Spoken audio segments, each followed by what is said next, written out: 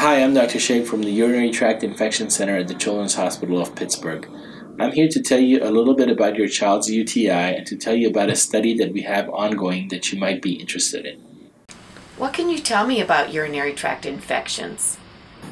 Urinary tract infections or UTIs in children are different from UTIs in adults.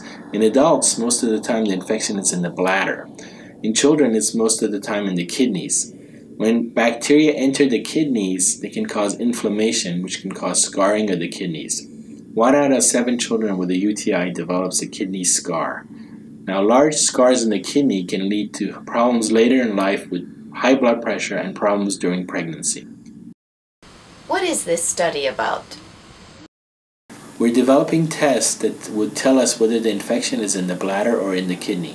That way, when a parent brings a child into the hospital, we can tell them whether their child's infection is serious or not. What will happen during this study?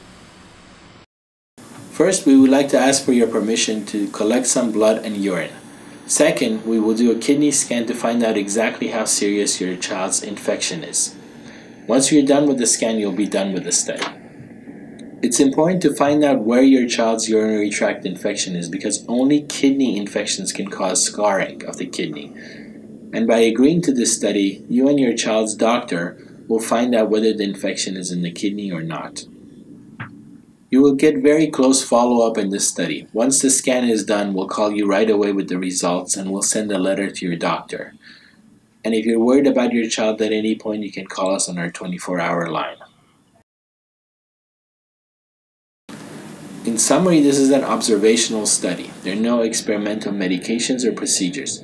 You'll find out how serious your child's infection is, and by participating, you'll help us take better care of children with urinary tract infection in the future. Thank you.